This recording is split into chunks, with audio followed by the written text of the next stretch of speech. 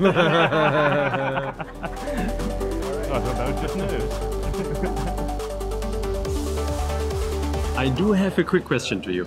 Yes. What does BTP mean to your customers?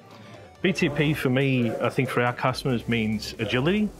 Uh, it means innovation. It means speed of delivery. I have a follow-up question. Yes.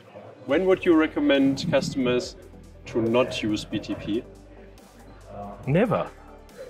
They should always be using SAP, and the sooner the better.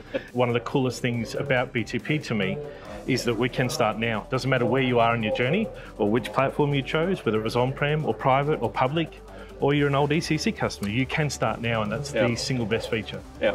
And I think that is super important and not well understood everywhere yet. So Yes. thank you so much for working on that. Thank you for listening to this and amplifying this message. Take good care. Thank you. Thank you. Awesome.